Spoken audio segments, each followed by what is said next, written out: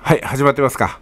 お疲れ様です。速稼塾の久保です。今回はね、あの、シェーバーのちょっと紹介です。これ、電動ミニシェーバーってやつね。本当にこの、外人さんの顔は、まあ、イケメンで結構なんですけども、このちっちゃいシェーバーの方ですよね。これを買ってみたんですよ。で、頼んだのが昨日の深夜だったんですけども、実はもうね、今日のお昼に届いてるんですよ。だから12時間もかからずに手元に来たということになります。で、648円に送料ってことなんで、だいたい1本ね、1000円弱だったんですけども、私の場合は Yahoo じゃなくて、今 Yahoo のページが開いてますけども、楽天で頼んだんですよ。そうすると、2本で1300円ぐらいだったかな、送料込みで。結構お得でした。こうやって、これに入ってきましたよね。はい。2本入ってます。あっという間に届きました。梱包は雑です。でも、それで十分。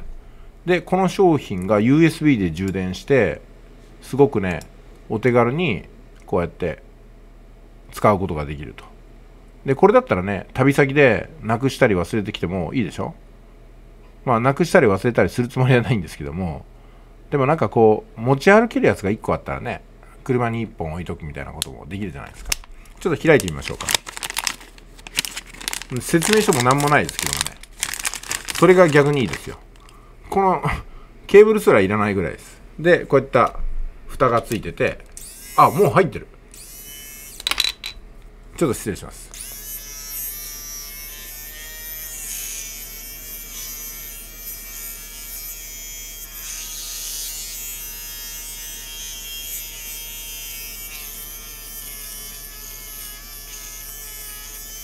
もうほとんど取れません。これはダメです。ほとんど取れません。これはダメです。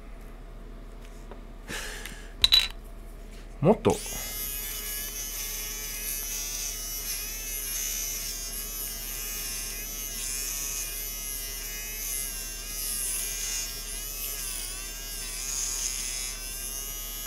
ダメですね。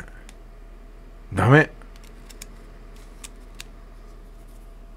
これダメですよ。これは安物買いの銭失い。ダメ。なんだよこれは。これはダメだ。ダメ。これを買ってはダメです。